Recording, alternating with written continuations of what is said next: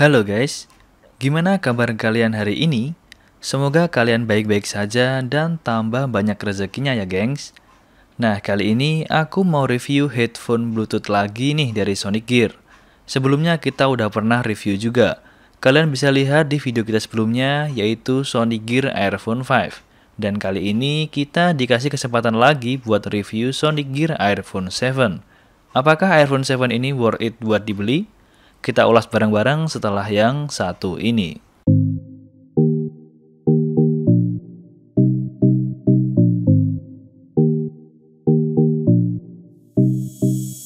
Sebelum aku lanjut, aku mau ngingetin ke teman-teman semua, bagi yang belum subscribe, yuk subscribe dulu di channel Gadget Box ya.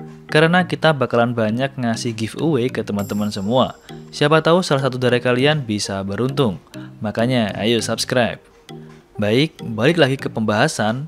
Sama dengan seri iPhone 5, Sonic Gear iPhone 7 ini menggunakan teknologi High Clarity with Strong Bass dan playtime-nya pun 10 jam. Cukup lama untuk headphone Bluetooth di mana rata-rata biasanya paling lama cuma 5 jaman dan ini bisa sampai 10 jam. Awet banget berarti. Bluetooth yang digunakan juga sudah versi 5.0 jadi sangat minim latency.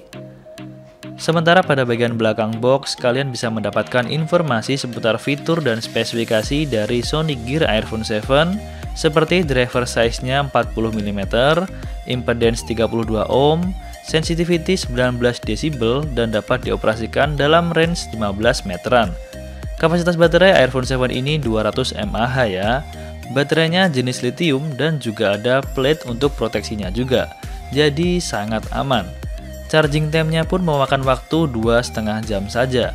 Untuk garansinya, Sonic Gear memberikan satu tahun garansi untuk produk iPhone 7-nya ini.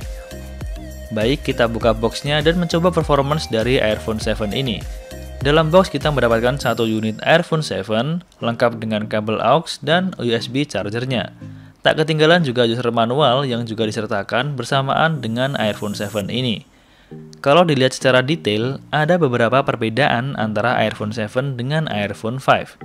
Seperti pada bagian sampingnya, lebih elegan dan aku rasa lebih bagus aja sih. Lebih kerasa premium untuk iPhone 7 ini.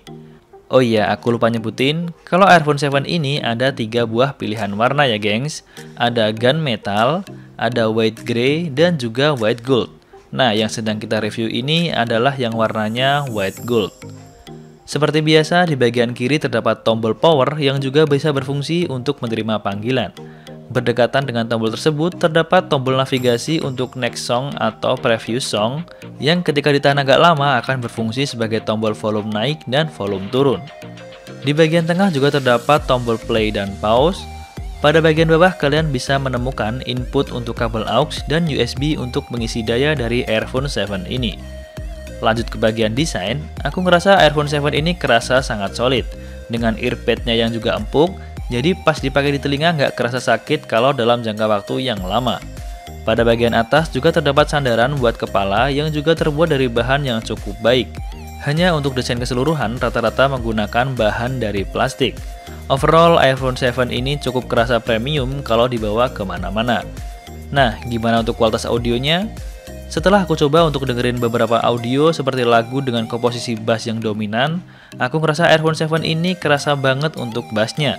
Ini mungkin efek dari teknologi high clarity with strong bass yang udah aku sempat sebutin di awal video tadi. Pas aku coba buat lagu yang treble-nya dominan, suaranya juga sangat jelas, nyaman untuk sebuah headphone yang gak terlalu mahal ini.